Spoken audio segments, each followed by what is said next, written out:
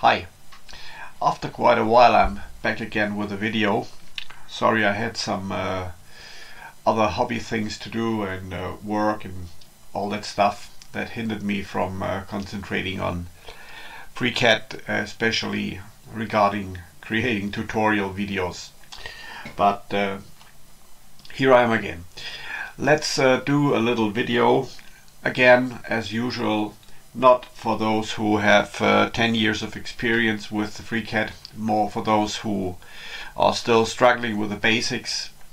It's not a introductory video, it's more for those who have already seen one or more of my videos and uh, in this case I wanna just show you how I do things when I need something from uh, FreeCAD that uh, I want to print in a 3D printer later on.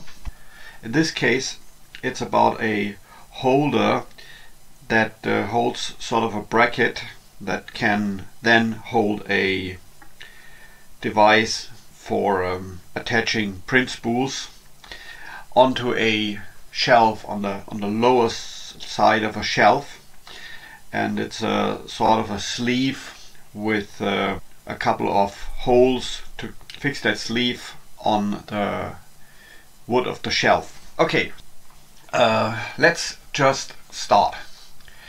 Um, and before I do it, the usual which version.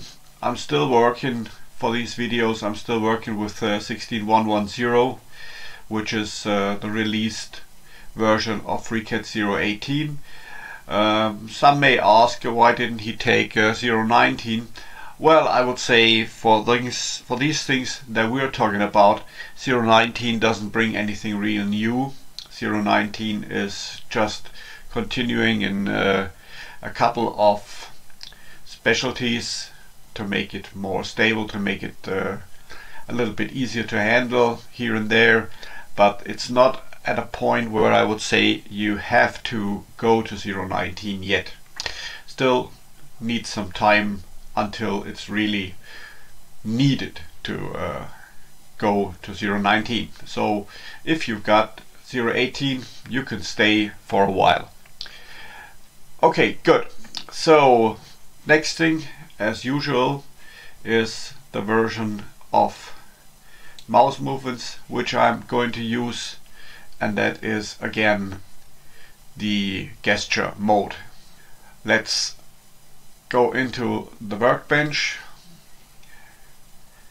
view workbench and as usual I'm working in part design. Create a new project, create your first body and in the body create a sketch and we want to start at the XY plane. Good nothing fancy yet. And again nothing fancy. We just create a rectangle. And this rectangle and this rectangle I want to make in a specific size. And that's the size of the inner part which or of the holder part I will show you uh, at, at the end I will show you a picture where you can see how the whole thing looks like when it's ready. I have not uh, done it before so I can't show you. Uh, it's really i am starting here with my own design. Uh, it's not that I've prepared something so I can't show you. But I have the other part which goes into the sleeve and that one has a width of 24 millimeters. So selected wrong double one. 24 millimeters. And the second length that's the whole length of the part that goes into the sleeve. And that is gonna be 40 millimeters. So we've selected that already. 40 millimeters. Good Next thing is usually we center our base design to the origin point here. Remember I've done again the old clicking problem. In the video sometimes my mouse is not reacting 100% in speed. So first click the opposite points and last click. The center point and then click create a symmetry constraint. From some people I've once heard that if you're using a Mac this may be opposite. But uh, in my case if I do it the way that these guys described it uh, it doesn't work. So maybe, I don't know. Good, so we have a fully constrained sketch.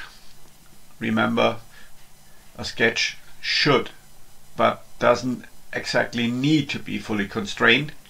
But uh, it's always better to have it fully constrained so that all the points and all the geometric constraints are completely defined. That makes it more stable. Good. So next thing that we need is we want to create a pad from this and this pad shall have a height of uh, that was yeah 5.1 millimeters.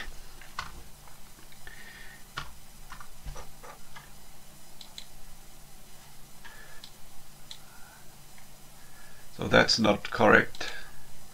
That's my old problem. I'm in Germany and I need to use a comma instead of a point.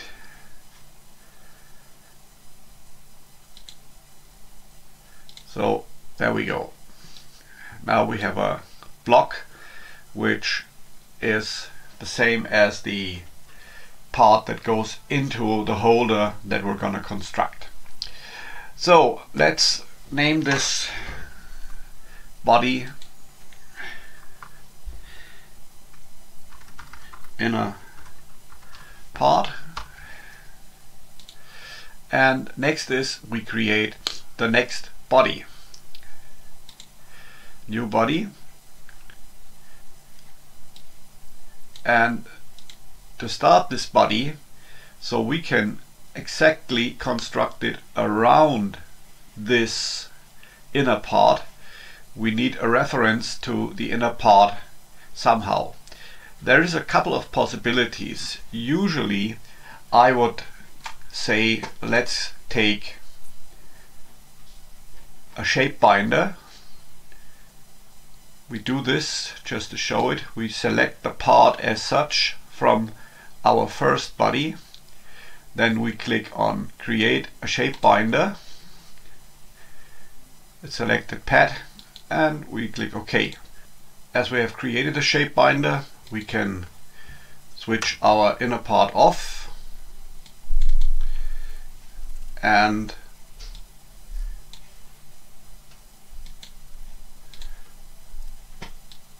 what we see is the shape binder that resulted from this block and we can now reference to this object. So that is a version that I've shown a couple of times I will just create one sketch based on it just uh, for those who have never seen how to work with shape binders. So what we're gonna do is we create a new sketch we base it on the XY plane as the other sketches have been and let us create a rectangle and let this rectangle take some reference to the existing block. We now have to use create an edge link to an external geometry, the usual external geometry tool.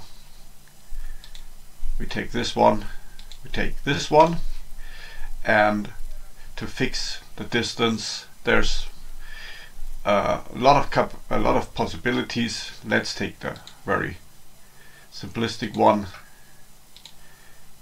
we let this be 4 millimeters we let this one be 4 millimeters. And we take this distance. Oops that was wrong. First I have to switch to vertical dimensioning. And let's take 4 also. We move this out a little bit so it looks better. Good and finally we want to fix the lower piece and this is again be 4 millimeters.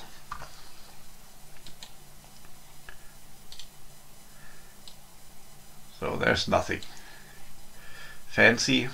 And we close this and now we have a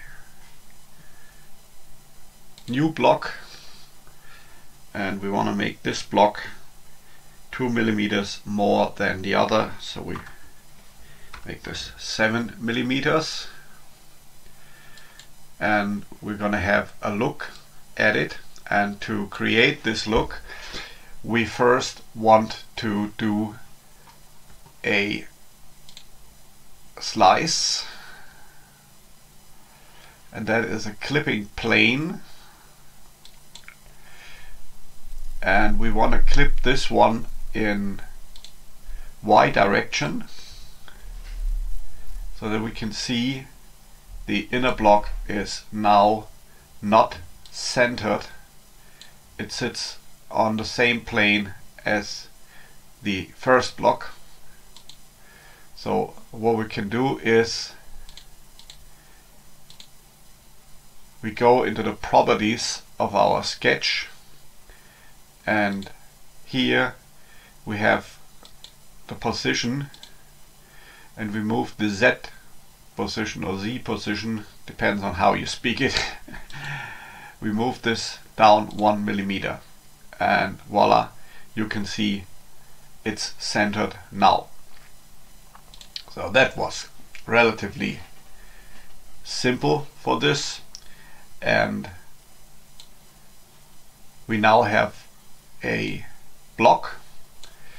And the next thing is we want to cut out the block from our new pad. So what we do is let us create a new sketch. First I've gotta go out of this slice view out of the clipping plane. So let's create a new sketch and again we want to take nearly the same but now we see oh hmm we can't see our shape binder and there's two possibilities. One is the classic version that I've shown in most of my other videos and that is switch off the pad.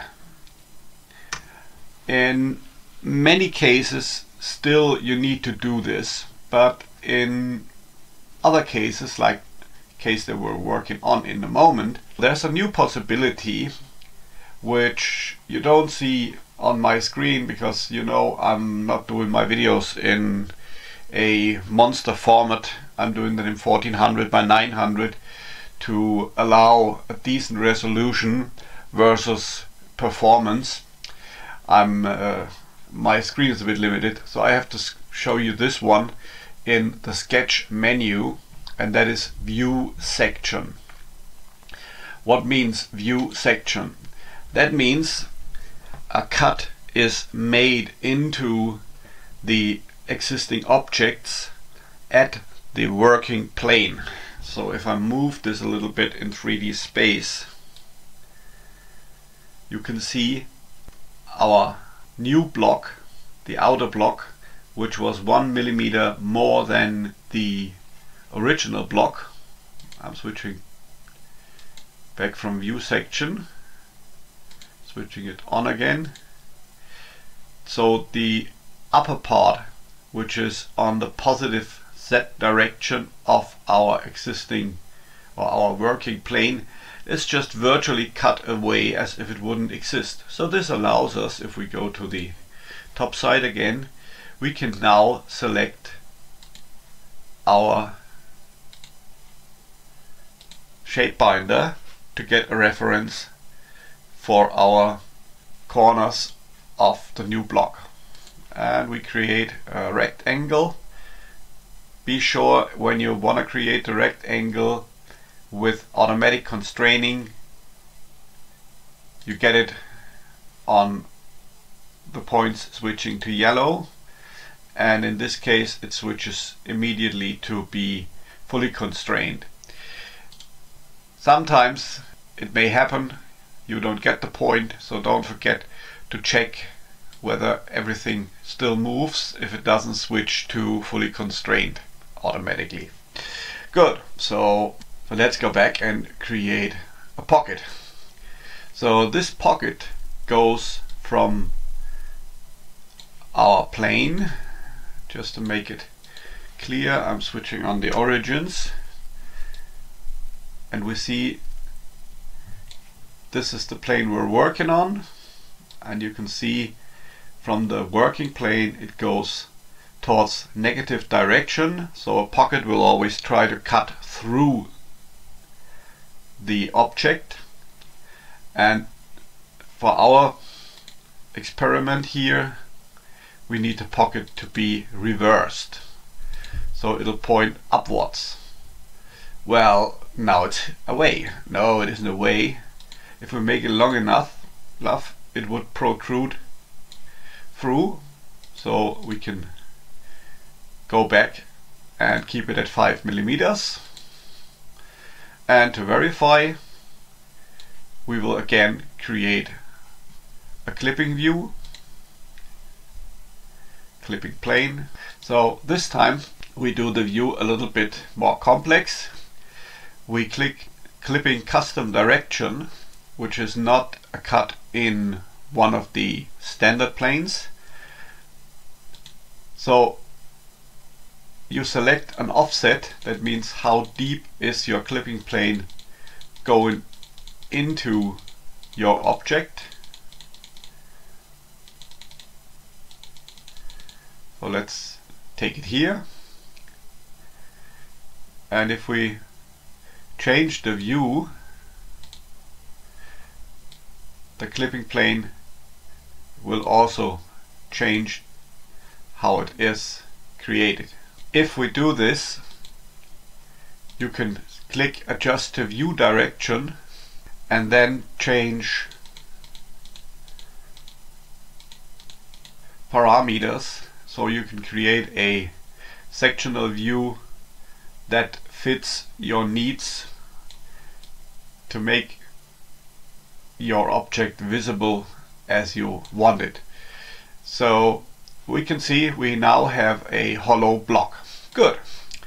So there's another possibility by the way which in some cases make may really be easier and that is if you click pocket and you click appearance and transparency which hopefully yeah it does work.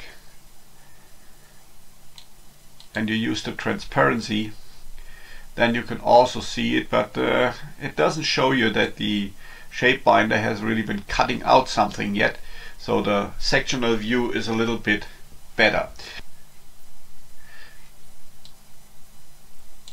So let's leave it at this point with the version that used the shape binder you can imagine how I'm gonna continue in this case but we want to use a different way of bringing parts from one sketch uh, from one body to the other. So let's make our body 001 invisible. Open our first body and make sure the sketch we used is visible. So after the sketch is visible on screen you can create a new body which is automatically active. And we create a new sketch. We're using the XY plane again. And now we can see our original sketch. If we try external reference that's not going to work because external reference will not go across bodies it'll only work inside one body. But there's a possibility to overcome this. And it's a not so widely known but very powerful function once uh, integrated in version 17 and that is the carbon copy functionality.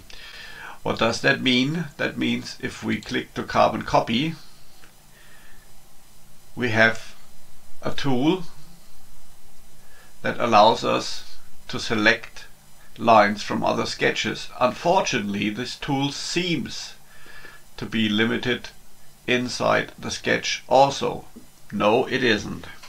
Because if we click the STRG or control key, in German it's normally called STRG, in English speaking countries it's going to be control key, which is uh, leftmost, lowermost on most keyboards. So I'm clicking this and then I'm moving my mouse and now we can see the lines turn yellow and we can click them and if we click one of the lines from the other sketch then the whole sketch is copied into our current sketch as geometry so this means if we now just create a block from that this would work but we're not gonna do this. We're just gonna use this as reference. And if we wanna use it as reference, we just select the hole by dragging the mouse with the left key clicked. Then we can switch all of it to be construction geometry, which is then in blue, and won't create a feature. And now, as we've done in our first version, we create a new rectangle. And this time I want to use a different way how to constrain the width of the sides. In this case, I'm going to constrain one of them. I click two of these points. I give them a distance of 4 millimeters and I name this wall thickness. Why did I name this? Because, and that's some, in many cases, a forgotten feature of uh, FreeCAD. We can now select the next one, click both and instead of keying in the length here we key the equal sign and we key a C for constraints. And as we only have one then it will take this one.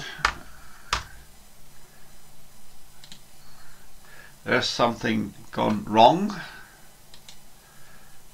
I gotta go back to this again and unfortunately my keyboard created a hashtag sign which is not valid. So let's do this once again.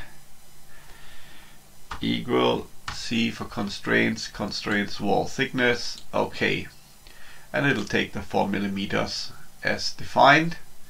So we have both in the horizontal and we need the same twice in vertical. Equal C click OK. OK. And the same here.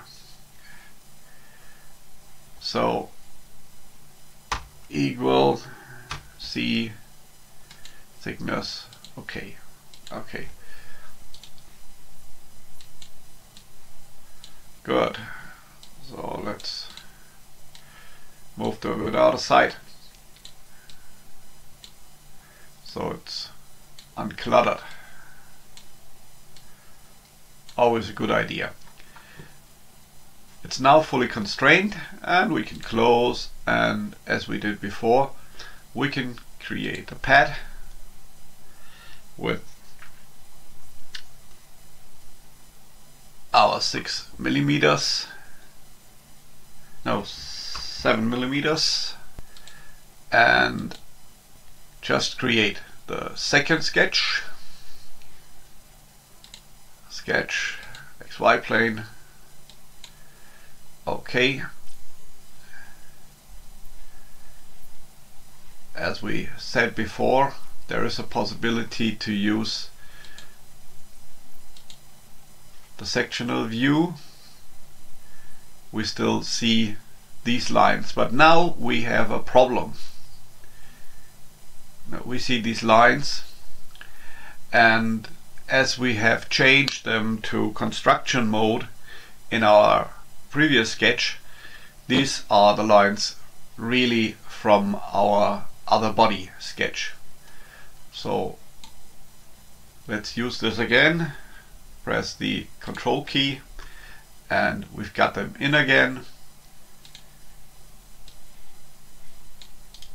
right mouse key select anything and voila again we have our construction geometry and we can easily start to drag a rectangle from point to point and if we're lucky we will get in the points and it will auto constrain and we click close and again we make this stuff hollow with a 5.1 millimeters high block.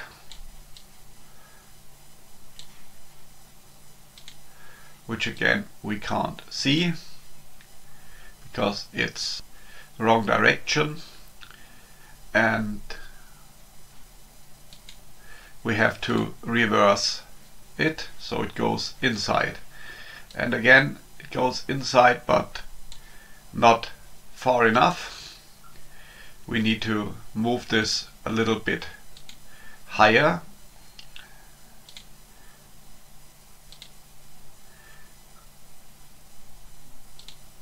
One millimeters. View. Clipping plane. Custom direction to view. And we can see even though the view is not very perfect it's inside so now let's continue. The next step is I would like to create a slot so I can insert my let's say I can insert the shoe of the holder and uh, I do this by creating a new sketch. Oops, we have to close this one first. New sketch, XY plane. Again.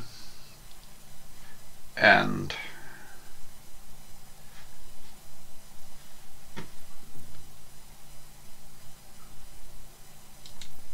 again. View section. Again carbon copy with the control key. Close. Oops not close sorry. View section. Create a rectangle and this rectangle should be different I want this rectangle to go in here for 4 millimeters. I want this rectangle to be at the corner.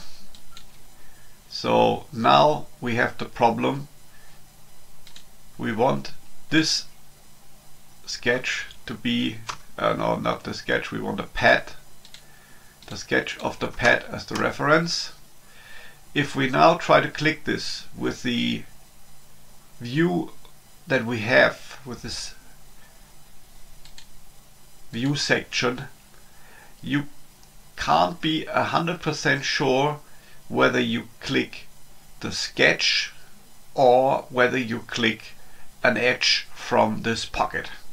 So this is the reason why you should switch off that pocket and be sure you click the sketch as your reference. Because you know if you use edges that belong to features once the sketch of the feature changes by adding lines, deleting lines, re-adding lines or something like that, the naming, the internal naming of that edge can change and then you're lost. It can change as well if you change it in the sketch. That's okay. But then you will only lose the reference and you can easily re-reference the one. And the nice part of that is you don't lose the reference to where the sketch is located at. So if you use a feature, your sketch may be flipped around in the 3D dimensions and you're getting totally lost and it's not so easy to re-reference this sketch to a different plane. It's easier to remove all the external constraints or the external references and just re-reference them. That's uh, just a few mouse clicks. So it's a bit easier to do this. Therefore, be sure you reference sketches instead of features. Good. So let us now move this one onto that line and we want to make this difference the same as we had it before. So let's get the equal sign. We need the name where the constraint was defined and that was sketch 003 and constraints and there we got the wall thickness. And what we can do is we double click.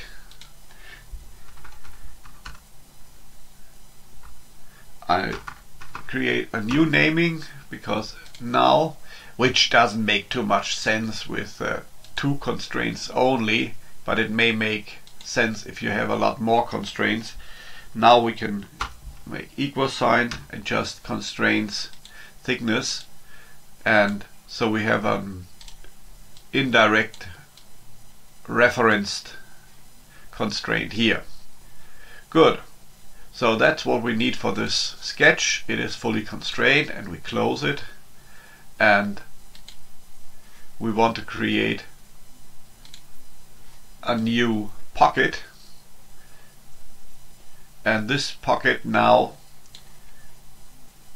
should point upwards to leave the one millimeter. There we make it reversed. And we move the sketch up one millimeter again. You can see this looks strange and that's not as we have expected. What went wrong? Well, I made a mistake and the mistake is pretty easy and that is when I go back into sketch 005 I can now see there's not only the two lines of my pocket being constrained there's more constraint and that's something we don't need. And that is because I have forgotten to make these elements which I copied from the previous sketch using carbon copy to make them construction geometry. And now as I change them to construction geometry what's left over is the real rectangle and now we can see that rectangle opens our sleeve and all we have to do is make it one more millimeters in length and we have this open sleeve now. So by principle that would be all I need for this object to make this object able to screw it onto um, the lower face of my shelf. I need a couple of mounting holes. And uh, this distance here is a little bit too small for the mounting holes. And as I wanted to show you the positive things of uh, this parametric design in FreeCAD I wanted to show you how easy you can now change values here. So uh, what we're doing is we want to make this a little bit wider. So we go into our sketch 001 where we have defined the width to be 4 millimeters here.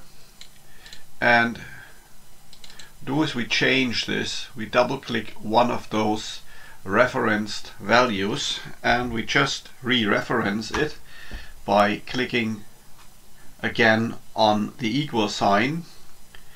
And in this case we don't want this to be a reference. We want to have this 4 millimeters plus let's say another 4 so let's take this as 8 millimeters. So you can see the lower one has now already moved. We double click again and we gave it a name like WT2 and double click this one equal sign constraints WT2 so this one is also now 8 millimeters and voila magically everything has changed and it's already complete done.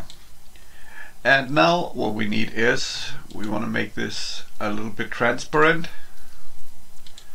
Appearance transparency close so we can see how it looks inside. And finally I need a couple of mounting holes. So create a new sketch on the XY plane. Okay switch to construction line mode. We'll do a reference rectangle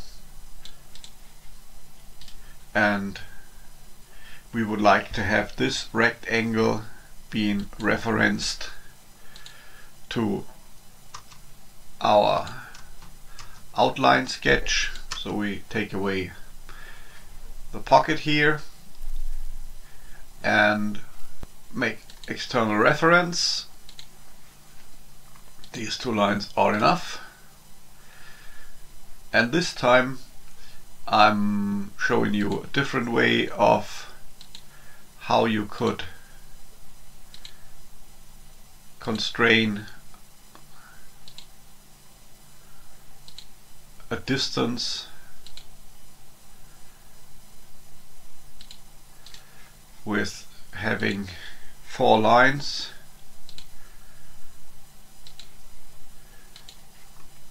All with the same length so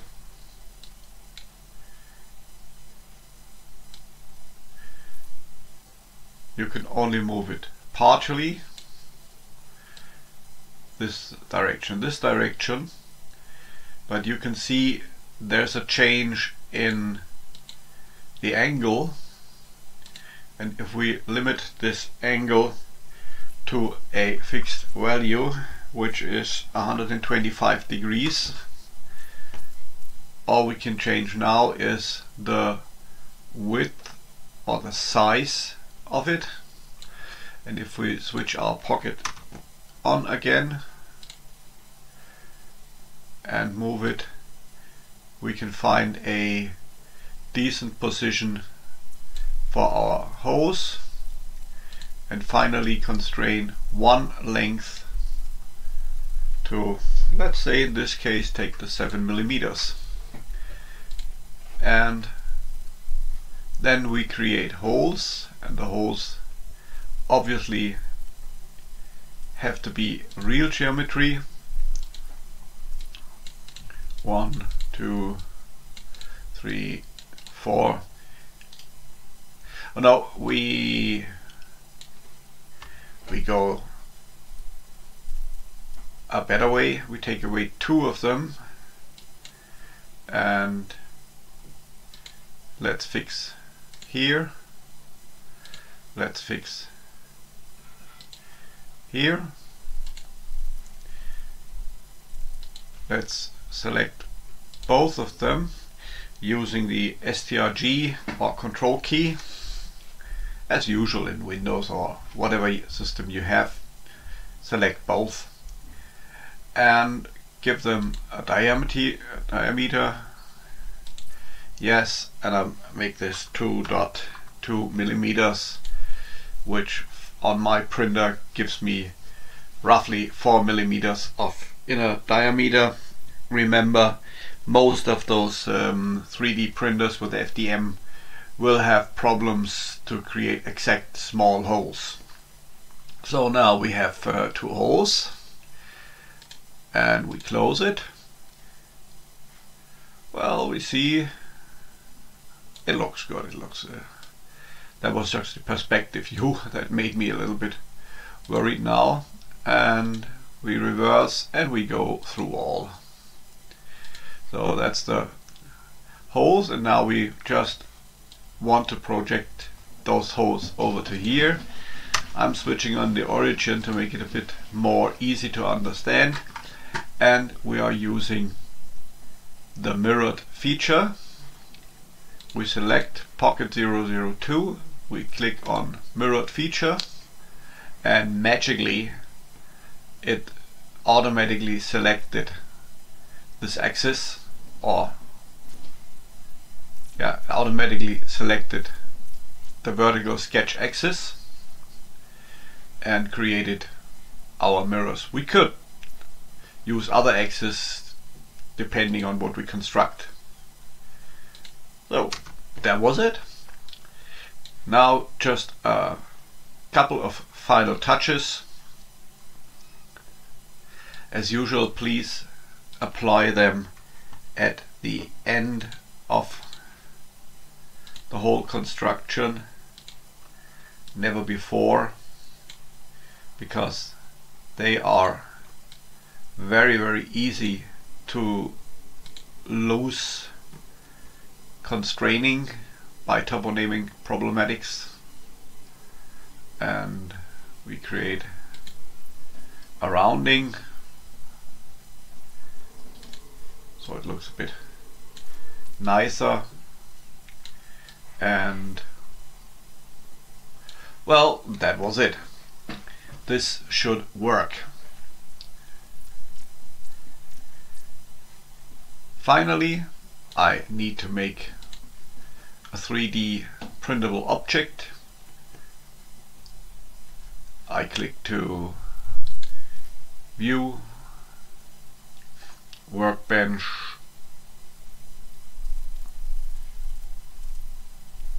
Mesh Design, create mesh from shape, having pre-selected the shape logically, standard, OK, and we export the mesh and I call this sleeve holder and then open our slicer. Uh, as some of you know, I'm now sticking to use uh, KissSlicer, which I find from my point of view is the best and most easy slicer to use.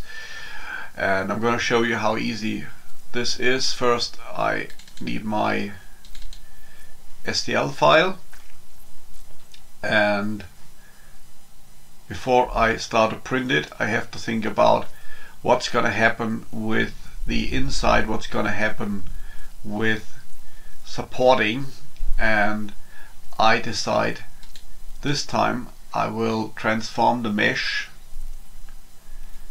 Unfortunately it's a little bit not so easy to see. Transform mesh and I want to have the y-axis pointing. No I want to have the x-axis pointing upwards. Unfortunately it's reversed now but that's easy we just flip upside down and we have that one in a position where it's pretty nice to print and now how do we cope with the settings that we need to print this thing? Well, usually the most other slicers they will use predefined settings or you set it every time or whatever. Uh, has a very nice feature and that is what we do is we load project G-code settings and I'm gonna select a G-code that has been printed before switch to G-code files where I say okay this is a G-code I know it works pretty good it created a nice print yesterday so why shouldn't it work today? And so we see profile and the name that we opened. And we can just adjust here, I'd say 03 as the maximum layer thickness isn't very good. Dot 3 is good enough. Everything else I can leave as it was before what I'm gonna change is the su support because this case as it's a tall object with a very small footprint it really makes sense to give it a brim so it has more standing foot and uh, let's say we take a 5 millimeters brim with the standard height of 0.4 and a gap of 1.2 millimeters isn't good. We make no gap because a brim with a gap would only be a skirt and we want to have this a little bit stiffer. We give it a height of uh, 0.6. That would be two uh, two times printed. Most other slicers don't give you the possibility to create a height. Uh, you can even make this a fillet. I'll show you. This is this is nice. I give it one millimeters height, and I make this a fillet, and I slice the stuff. And we go to models and paths, and when we move this a little bit in 3D space, what you can see is it will be more stiff in the middle, less stiff at the outside. So and we can see it's going to print some sort of support for the holes and no support in the inside direction which is good because that's where the other stuff is going to be printed inside. So that is all we need to change at the design and we just click on save and I just need to select where that's uh, on the, the OctoPi's uh, upload folder sleeve holder G-code bloop bloop bloop bloop it'll render it. And I'm going to switch to my Octoprint.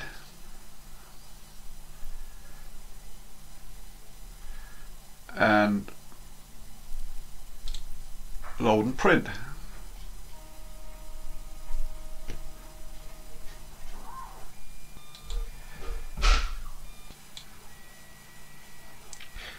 So after a while the print has finished and uh, here we can see how it's uh, coming out of the printer. By the way, I'm using a plain A8 printer. I've got that thing since three years and it works pretty well. This one is printed in PLA and uh, my print bed is a heated print bed using an FR4 um, copper clad material that's a fiberglass epoxy material the one you use in uh, electronic circuits. And um, as you can see I'm printing on the epoxy side.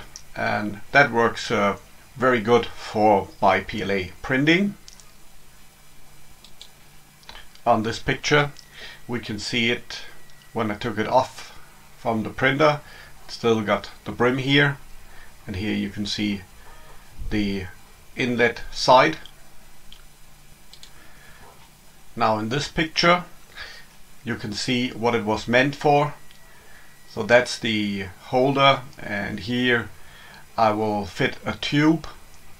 I'll have two of these with a distance of about 10 centimeters. And there's gonna be a plastic tube in here. And these arms will be removable so I can select arms with a bigger or with a smaller diameter of the hole and different length. And finally here we have the one I just created screwed to the shelf and it's the arm is hanging down and the rear one will be replaced by one that's currently printing. You might hear it in the background and then I can put the spool into and have the spool just above my secondary printer. Okay, so that was it. I hope you've enjoyed it. I hope you learned one or the other things and uh, look forward to more videos from me Thanks for watching and if that was a nice video for you, you're invited to buy me a beer. You can see my PayPal address at the description of the video. Bye.